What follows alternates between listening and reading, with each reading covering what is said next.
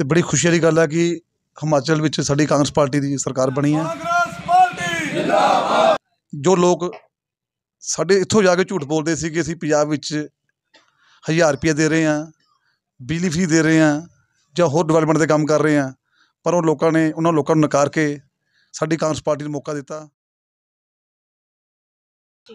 ਕਿਉਂ ਸਾਡੇ ਪਰਿਵਾਰ ਬਹੁਤ ਭੋਲੇ ਨੇ ਤੇ ਇੱਕ ਇੱਕ ਤਰ੍ਹਾਂ ਨੇ ਬਹੁਤ ਵੱਡਾ ਲਾਲਚ ਦਿੱਤਾ ਕਿ ਇੱਕ ਇੱਕ ਹਜ਼ਾਰ ਦੇ ਫਾਰਮ ਭਰ ਦਿੱਤੇ। ਜਿਹੜੀਆਂ ਸਾਡੀਆਂ ਭੈਣਾਂ ਨੇ ਬੀਬੀਆਂ ਨੇ ਜਿਹੜੇ ਫਾਰਮ ਭਰੇ ਆ ਉਹਨਾਂ ਨੂੰ ਪਤਾ ਹੋ ਗਿਆ ਲੱਗਾ ਕਿ ਬੜੀ ਇਹਨਾਂ ਨੇ ਝਾੜ ਨੂੰ ਵੋਟ ਪਾਉਣ ਨਾਲ 1000 ਰੁਪਏ ਸਾਨੂੰ ਨਾਲ ਹੀ ਸ਼ੁਰੂ ਹੋਣਾ। ਜੀ। ਜੋ ਕਿ ਆਪਣੇ ਨੂੰ ਵਾਕਈ ਠੱਗੇ ਮਹਿਸੂਸ ਕਰ ਰਹੇ ਨੇ ਕਿਉਂ ਮੇਰੇ ਕੋਲ ਆਉਂਦੇ ਨੇ ਦਫ਼ਤਰ ਆਉਂਦੇ ਨੇ ਮਿਲਦੇ ਨੇ। ਸੰਜੇ ਤਲਵਾਰ। ਜਿੰਦਾਬਾਦ। ਰਾਜਾ ਵੜਿੰਗ। ਜਿੰਦਾਬਾਦ। ਸੋਨੀਆ ਗਾਂਧੀ। ਕਿ ਜਿਹੜੀ ਸਾਰੀ ਫੀਡਬੈਕ ਹਿਮਾਚਲ ਜਾਂਦੀ ਹੈ ਕਿ ਇਹ ਲੋਕ ਸਰਕਾਰ ਕੀ ਕਰ ਰਹੀ ਆ ਇਹਨਾਂ ਦਾ ਝੂਠ ਬਿਲਕੁਲ ਨਹੀਂ ਚੱਲਣ ਦਿੱਤਾ 1% ਵੋਟ ਪਈ ਹੈ ਜੀ। ਸਤਿ ਸ਼੍ਰੀ ਅਕਾਲ ਜੀ ਤਾਂ ਚਿਰਾਗ ਨਿਊਜ਼ ਵੇਖਣ ਵਾਲੇ ਤਮਾਮ ਦਰਸ਼ਕਾਂ ਦਾ ਹਾਰਦਿਕ ਸਵਾਗਤ ਹੈ। ਅੱਜ ਅਸੀਂ ਖੜੇ ਹਾਂ 7 ਨੰਬਰ ਵਾਰਡ ਦੇ ਵਿੱਚ। ਸਾਡੇ ਨਾਲ ਮੋਨੂ ਖਿੰਡਾ ਜੀ ਮੌਜੂਦ ਨੇ। ਸਤਿ ਸ਼੍ਰੀ ਅਕਾਲ ਸਤਿ ਸ਼੍ਰੀ ਅਕਾਲ ਬਹੁਤ ਬਹੁਤ ਮੁਬਾਰਕਾਂ। ਕਾਂਗਰਸ ਪਾਰਟੀ ਦੀ ਜਿੱਤ ਹੋਈ ਹੈ। ਹਿਮਾਚਲ ਵਿੱਚ ਕੀ ਕਹਿਣਾ ਚਾਹੋ ਤੁਹਾਨੂੰ ਬਹੁਤ ਮੁਬਾਰਕਾਂ ਜੀ ਤੁਹਾਡੇ ਚੈਨਲ ਨੂੰ ਬਹੁਤ ਮੁਬਾਰਕਾਂ ਜੀ। ਤੇ ਬੜੀ ਖੁਸ਼ੀ ਵਾਲੀ ਗੱਲ ਹੈ ਕਿ ਹਿਮਾਚਲ ਵਿੱਚ ਸਾਡੀ ਕਾਂਗਰਸ ਪਾਰਟੀ ਦੀ ਸਰਕਾਰ ਬਣੀ ਹੈ।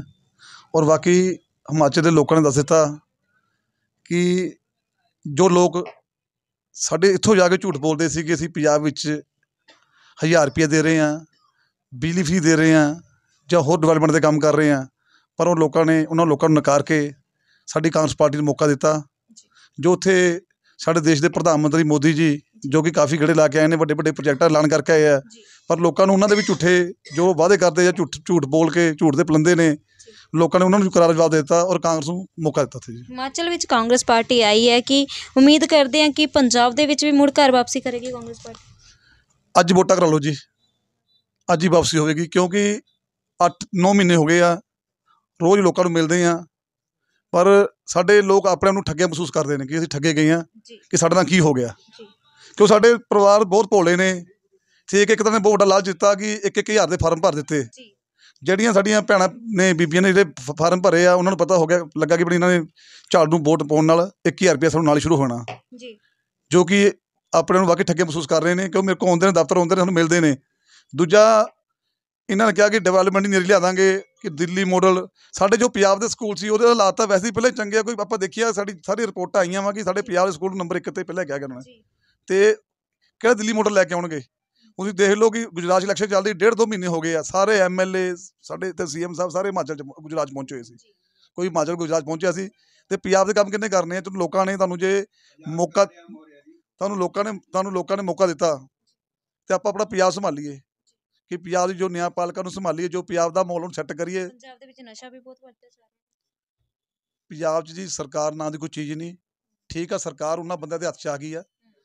ਕਿ ਜਿਨ੍ਹਾਂ ਨੂੰ ਪਤਾ ਕਿ ਸਰਕਾਰ ਚਲਾਉਣੀ ਕਿੱਦਾਂ ਵਾ। ਕਿਉਂਕਿ ਇੱਕ ਸਰਕਾਰ ਲੀਡਰ ਕਹਿਣਾ ਤੇ ਲੀਡਰ ਬਣਨਾ। ਕਿਉਂਕਿ ਕਿਸੇ ਦਾ ਇਲਜ਼ਾਮ ਲਾਉਣਾ ਹੋਵੇ ਕਿ ਕਾਂਗਰਸ ਸਰਕਾਰ ਮਾੜੀ ਹੈ ਜੀ ਫਲਾਨੀ ਸਰਕਾਰ ਮਾੜੀ ਹੈ ਜੀ ਇਲਜ਼ਾਮ ਲਾਉਣਾ ਧੋਖਾ। ਜਦੋਂ ਸੀਟ ਆਪਾਂ ਨੂੰ ਮਿਲ ਜਾਂਦੀ ਆ ਉਸ ਸੀਟ ਤੇ ਬੈਠ ਕੇ ਕੰਮ ਕਰਨਾ ਬੜਾ ਔਖਾ ਜੀ। ਤੇ ਅੱਜ ਉਹ ਲਾ ਸਾਹਮਣੇ ਆ ਗਏ ਆ। ਇਹਨਾਂ ਨੇ ਕਾਂਗਰਸ ਪਾਰਟੀ ਨੂੰ ਮਾੜਾ ਕਹਿ ਕਹਿ ਕੇ ਉਧਰ ਮੋਦੀ ਨੇ ਕਾਂਗਰਸ ਪਾਰਟੀ ਨੂੰ ਮਾੜਾ ਕਹਿ ਕਹਿ ਕੇ ਸਾਡੇ ਜੋ ਦੇਸ਼ ਦੇ ਹਾਲਾਤ ਆ ਉਧਰ ਦੇਸ਼ ਦੇ ਹਾਲਾਤ ਇਧਰ ਪੰਜਾਬ ਦੇ ਹਾਲਾਤ ਸਾਰੇ ਜਾਣਦੇ ਮਹਿੰਗਾਈ ਕਿੰਨੀ ਹੋ ਗਈ ਆ। ਪੰਜਾਬ 'ਚ ਵੀ ਦੇਖਦੇ ਹੋ ਕਿ ਰੋਜ਼ ਕਤਲੇਆਮ ਹੋ ਰਿਹਾ ਵਾ ਰੋਜ਼ ਕੋਈ ਨਾ ਕੋਈ ਲੁੱਟ ਖੋਹ ਹੋ ਰਹੀ ਆ ਨਸ਼ਾ ਦਾ ਅੱਗੇ ਨੂੰ 10 ਗੁਣਾ ਵੱਧ ਗਿਆ ਜੀ। ਇਹ ਕੰਟਰੋਲ ਕਿਹਨੇ ਕਰਨਾ ਸਰਕਾਰਾਂ ਨੇ ਕਰਨਾ ਜੀ? ਇਹ ਸਰਕਾਰਾਂ ਨੂੰ ਚਾਹੀਦਾ ਕਿ ਇਹਨੂੰ ਕੰਟਰੋਲ ਕਰਨ। ਇਹਦਾ ਇਹਦਾ ਹੀ ਜੋ ਅਸਰ ਆ ਤੁਸੀਂ ਦੇਖੋ ਕਿ ਸੰਗਰੂਰ ਇਲੈਕਸ਼ਨ 3 ਮਹੀਨੇ ਬਾਅਦ ਲੋਕਾਂ ਨੂੰ ਦਿਖਾ ਦਿੱਤਾ।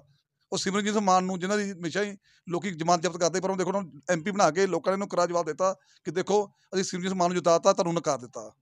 ਤੇ ਉਸ ਤੋਂ ਬਾਅਦ ਹਿਮਾਚਲ ਦੇ ਲੋਕ ਸਾਡੇ ਪੰਜਾਬ ਵਿੱਚ ਮੇਰੇ ਹਿਸਾਬ ਨਾਲ ਜੇ ਪੰਜਾਬ ਦੇ ਪੀ- 100% ਬੰਦੇ ਜਿਹੜੇ ਕੰਮ ਆਉਂਦੇ ਕਰਨ ਆਉਂਦੇ ਆ ਉਹ ਚ 50% ਸਾਡੇ ਪੰਜਾਬ ਚ ਆਉਂਦੇ ਆ ਉਹ ਵੱਧ ਤੋਂ ਵੱਧ ਲੁਧਿਆਣੇ ਚ ਨੇ। ਕਿ ਜਿਹੜੀ ਸਾਰੀ ਫੀਡਬੈਕ ਹਿਮਾਚਲ ਜਾਂਦੀ ਹੈ ਕਿ ਇਹ ਲੋਕ ਸਰਕਾਰ ਕੀ ਕਰ ਰਹੀ ਆ ਇਹਨਾਂ ਦਾ ਝੂਠ ਬਿਲਕੁਲ ਨਹੀਂ ਚੱਲਣ ਦਿੱਤਾ 1% ਵੋਟ ਪਈ ਹੈ ਜੀ।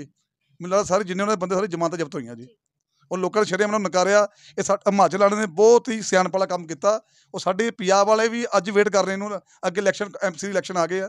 ਇਹ ਸਵੇਰੇ ਕਰਾਉਣ ਮੈਨੂੰ ਪਤਾ ਲੱਗੇ 2 ਮਹੀਨੇ ਨਾਲ ਲੇਟ ਕਰ ਦਿੱਤੇ ਆ ਇਸ ਸਵੇਰੇ ਇਲੈਕਸ਼ਨ ਕਰਾਉਣ ਇਹਨੂੰ ਰਿਜ਼ਲਟ ਆਪੇ ਆ ਜਾਣਾ ਇਹਨਾਂ ਸਾਹਮਣੇ। ਸੋ ਪੰਜਾਬ ਹਿਮਾਚਲ ਵਿੱਚ ਜਿਹੜੀ ਕਾਂਗਰਸ ਪਾਰਟੀ ਜਿੱਤੀ ਹੈ 7 ਨੰਬਰ ਵਾਰਡ ਦੇ ਵਿੱਚ ਲੱਡੂ ਵੰਡ ਕੇ ਜਿਹੜੀ ਖੁਸ਼ੀ ਮਨਾਈ ਜਾ ਰਹੀ ਹੈ ਇਹਦੇ ਬਾਰੇ ਕੀ? ਸਾਡੇ ਵਰਕਰਾਂ ਉਤਸ਼ਾਹ ਜੀ ਸਾਨੂੰ ਬੜੀ ਖੁਸ਼ੀ ਹੈ ਕਿ ਸਾਡੀ ਸਰਕਾਰ ਬਣੀ ਆ। ਅਸੀਂ ਤਾਂ ਸਾਰੇ ਵਰਕਰਾਂ ਨੇ ਕਿਹਾ ਕਿ ਆਜੋ ਆਪਾਂ ਲੱਡੂ ਵੰਡੀਏ, ਸਾਰੇ ਪਹੁੰਚੇ ਦੇਖੋ ਸਾਰੇ ਆਪਣੇ ਕੀਰਤੀ ਸਭਾ ਕਰ ਪਹੁੰਚੇ ਕੋਈ ਇੱਕ ਵਰਕਰ 'ਚ ਇੱਕ ਜੋਸ਼ ਭਰ ਜਾਂਦਾ।